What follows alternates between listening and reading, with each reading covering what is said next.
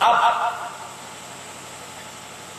ہم یہ کہہ رہے ہیں کہ شیطان کو جب رابع درگاہ کیا گیا سجدہ نہ کرنے کی وجہ سے، بات یہاں سے چلی تھی سجدہ نہیں کیا۔ اللہ نے فرمایا تم نے سجدہ کیوں نہیں کیا؟ کہ خلق کر من ناری و خلق تو من تین۔ آٹھویں پارا سورہ آ رہا مجھے آگ سے بنایا، اس کو مٹی سے۔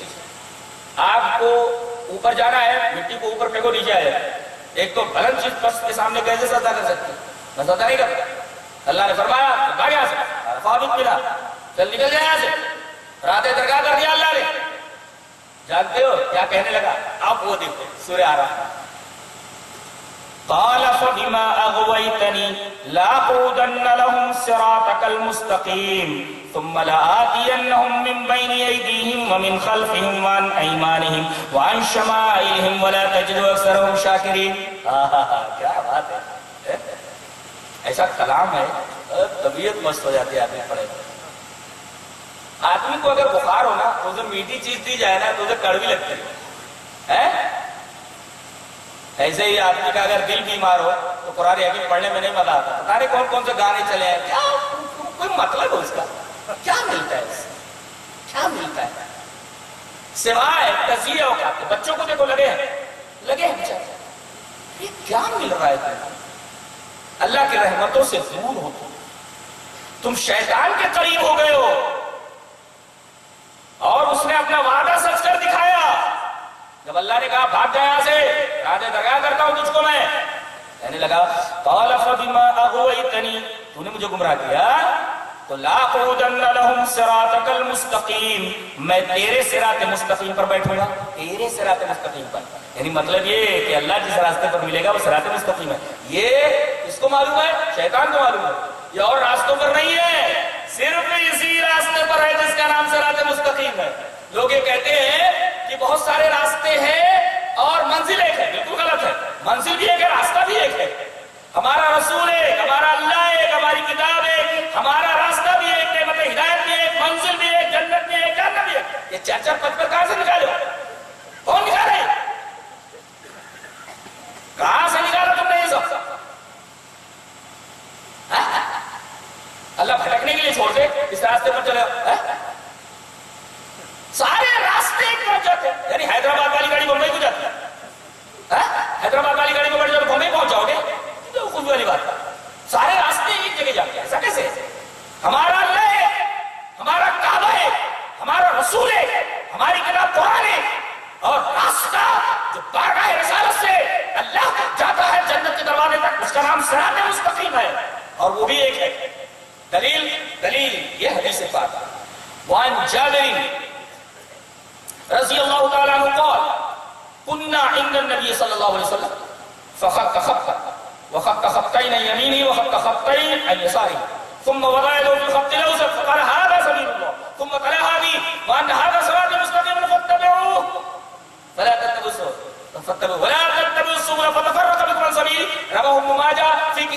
كتاب المقدمه في ظهر اتباع سنه رسول الله صلى الله عليه وسلم۔ امام ابن ماجہ اس حدیث پاک کو ابن ماجہ شریف فصل پہلو کے اندر کتاب المقدمہ کے اندر لائے۔ راوی حضرت جابر بن عبداللہ ہے۔ پوری روایت میں پڑھ دی ہے۔ حضرت جابر فرماتے ہیں کہ ہم لوگ نبی کے پاس بیٹھے تھے۔ کننا عند النبی صلی اللہ علیہ وسلم۔ We are sitting near the نبی کریم صلی اللہ علیہ وسلم۔ آپ نے خط کھینچا ڈریو اسٹریٹ لائن آپ نے ایک سیدھا خط کھینچا اور اس کے داہنے طرف دو خط۔ اور اس لکیر کے بائیں طرف دو خط۔ کتنے ہو گئے؟ Two and two make four چار ہو گئے نا؟ یہ دیکھو، سیدھا خط آپ نے کھینچا۔ وہ خط کا خط ہے نہیں یمین وہ خط کا خط ہے نہیں، یہ ساری۔ دو خط اس سیدھی لکیر کے دائیں طرف اور دو خط اس سیدھی لکیر کے بائیں طرف۔ اور پھر آپ نے تم وضع جو خط الاوسط۔ یہ دیکھو، کئی لکیریں کھینچ دی آپ نے۔ اس کے بعد آپ نے اپنی انگلی انگلی مشت مبارک، آپ نے اس سیدھی لائن کے اوپر رکھا۔ تم وضع جو خط الاوسط، بیچ والی، اوسط means middle the middle on the middle one بیچ والی کے اوپر آپ نے ہاتھ رکھا انگلی رکھے اور فرمایا ہادہ سبیل اللہ، یہ اللہ کا راستہ ہے؟ جس راستے پر اللہ ملنے والا یہی راستہ ہے، یہ راستے نہیں جاتے۔ اس راستے میں کوئی راستہ اگر ملتا نہیں، اور اس راستے سے کوئی راستہ نکلتا نہیں یہ کوئی زہری راستہ اس سے کوئی نکلتا نہیں، اور نہ اس میں کوئی زہری راستہ اگر ملتا ہے الون یہ راستہ بارگاہ رسالت سے جنت کے دروازے تک پہنچتا ہے۔ تم نے کہا نہیں کہا سارے راستے کے لیے جاتے ہیں۔ کون بولتا ہے؟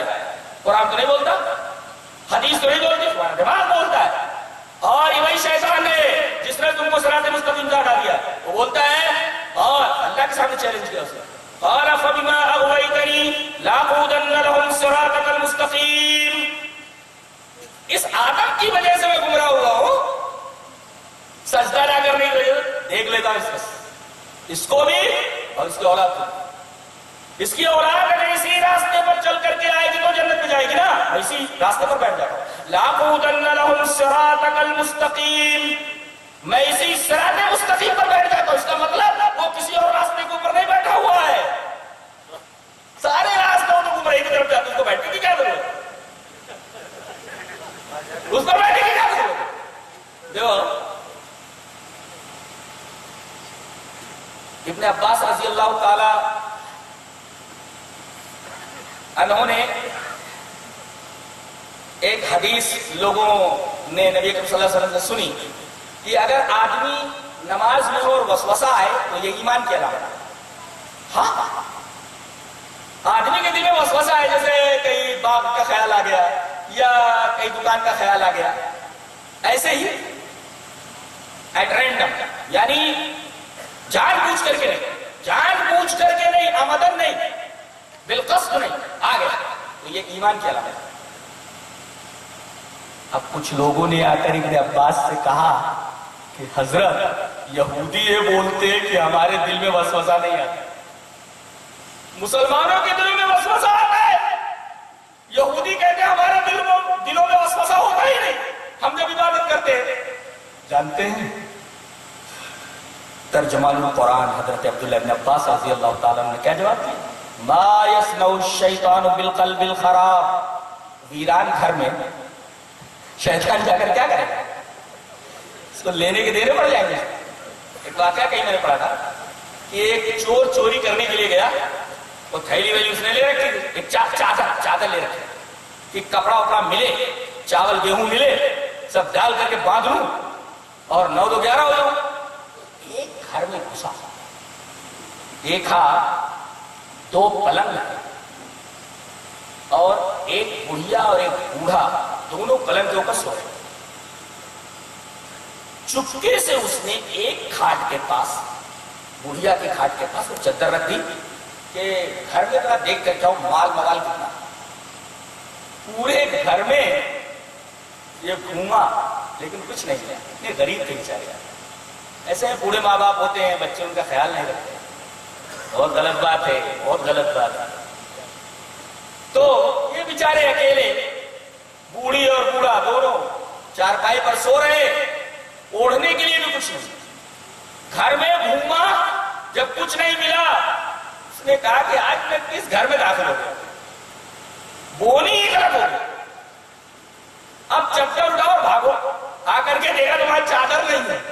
کہاں؟ جا رکھا تھا اس نے اس نے دیکھا کہ چادر بڑھیا نے اوڑھ رکھی ہے۔ بھاگا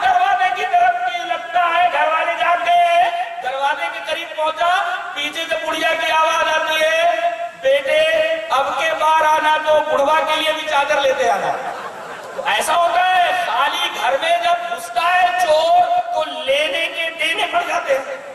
اسی کو کہتے ہیں لینے کے دینے پڑ جانا۔ وہاں بیچارہ کچھ چرانے کے لیے گیا تھا چدر چھوڑ کر کے آ گیا۔ چدر بن کر کے آ گیا۔ لینے کے دینے پڑ جانا۔ مثال میں یہ پیش کر دو۔ تو چور ایسے گھر میں کیوں جائے گا جہاں لینے کے دینے پڑ جائے؟ ارے یہودیوں، تمہارے دل میں ایمان ہے ہی نہیں، وہاں لینے کے لیے شیطان کیا جائے گا آپ کی مدد پاری کرنے کے لیے؟ اسی وجہ سے آدمی جب سینے پر ہاتھ باندھ لیتا ہے نماز میں، دل کدھر ہوتا؟ ہے یہاں ہوتا ہے نا؟ خزانہ جہاں ہوتا ہے نا، آدمی وہیں دروازہ لگا یہاں خزانہ کہیں ہے؟ دروازہ کہیں لگا رہے ہیں اللہ رحم کرے بس قال فبما اغويتني لاقودن لهم صراطك المستقيم کہا تو نے مجھے گمراہ کیا تو میں تیرے صراط مستقیم پر بیٹھ جاؤں گا شیطان کو بھی معلوم ہے کہ جنت کی طرف جانے والا راستہ ایک ہے کتنا پڑھا لکھا ہے دیکھو ارے یہ فرشتوں کے درمیان رہا ہے معمولی پڑھا لکھا ہے وہ اور آدمی کو دیکھتا ہے کون سا پوائنٹ اس کا کمزور ہے۔ دنیا میں اس سے زیادہ عقل مند کوئی نہیں ہے۔ اور کمزور پوائنٹ سے آزاد ہے۔ کسی کو دیکھتا ہے کہ سیکس اس کے پاس زیادہ ہے ذرا میں مطلع کر دیتا ہے۔ کسی کو دولت کی آواز ہے حرام کاری میں مبتلا کر دیتا ہے۔ بھائی حک اور بھائی ترک، حلال آن دے، حرام آن دے، کوئی تمیز نہیں۔ تو کمزور پوائنٹ جانتا ہے وہ، اور وہی سے حملہ کرتا ہے۔ تو لاکھ مدن لهم صراطك المستقیم اچھا ایک بات۔ وہ کھڑا کیوں نہیں؟ ہے قرآن ایک بھی بولتا بیٹھا ہوا ہے تو کہہ رہا میں بیٹھ جاؤں گا۔ ایسا ہے کہ وہاں سے کوئی راستے پر آ رہا ہے اور یہاں دشمن کھڑا رہے، تو وہی بھاگ لے۔ کہ میرا دشمن راستے میں کھڑا ہے۔ اور بیٹھا ہوا ہو، کھاک لگائے اور اچانک آدمی راستے پر چلتے چلتے آ جائے۔ اچانک آدمی اس کے اوپر حملہ کر دے تو بوکھلا جائے گا۔ کہتا میں اچانک حملہ کرتا ہوں کیسے حملہ؟ ثم لا لآتينهم من بين ايديهم ومن خلفهم وعن ايمانهم وعن شمائلهم ولا تجد اكثرهم شاكرين. میں اس کے آگے سے حملہ کروں گا۔ اس راستے پر جو آئے گا، اس پر، صراط مستقیم پر۔ اور راستہ ایک ہے وہ، جنت کی طرف جانے والا۔ ایک ہی راستہ۔ اور اسی پر بیٹھ جاؤں گا۔ اس کے آگے سے حملہ کروں گا، پیچھے سے حملہ کروں گا، دائیں سے حملہ کروں گا، بائیں سے حملہ کروں گا۔ مقصد، ولا تجد اکثرهم شاکرین اکثر کو اس میں میں شکر گزار نہیں چھوڑوں گا اور سب سے بڑا شکر کیا ہے؟ توحید ہے۔ اللہ تعالیٰ نے سورہ زمر میں ارشاد فرمایا چوبیسویں بارے میں، بل اللہ فاعبدوا من الشاکرین صرف اللہ ہی کی عبادت کر یعنی توحید کو مضبوطی سے پکڑ اور شکر گزاروں میں سے ہو جا۔ اس کا مطلب شکر گزار وہ ہے جو توحید والا ہے، جو لا الہ الا اللہ کو سمجھنے والا ہے۔ توحید اس کے پاس ہے۔ شکر، الحمدللہ۔ الحمدللہ۔ یہ شکر کا کلمہ ہے، لیکن اگر آدمی کے پاس توحید نہیں ہے تو اس کلمے کا کوئی مطلب نہیں۔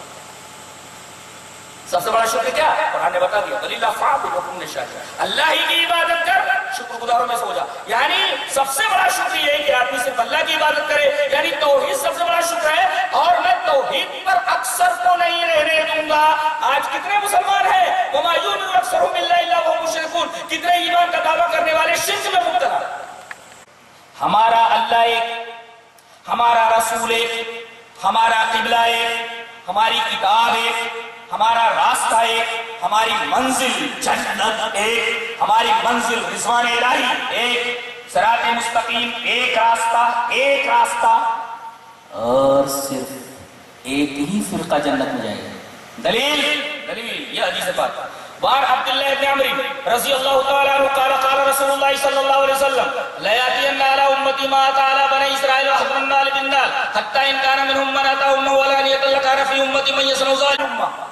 حضرت امام ترمیلی ترمیلی شریف کے اندر یہ روایت کتاب الایمان کے اندر لائے باب افتراق حاضر امہ کے اندر راوی مشہور صحابی حضرت عبداللہ ابن عمر ابن عاص رضی اللہ فاتح مصر ہے۔ حضرت عمر ابن عاص فرماتے عبداللہ ابن عمر ابن عاص، کہ اللہ کے رسول صلی اللہ علیہ وسلم نے ارشاد فرمایا لیاتین علی امتی ما اتعالی بنی اسرائیل حضر النار بالنار میری امت کے اوپر وہی کچھ آنے والا ہے، جو اس سے پہلے بنی اسرائیل کو بنا چکا ہے۔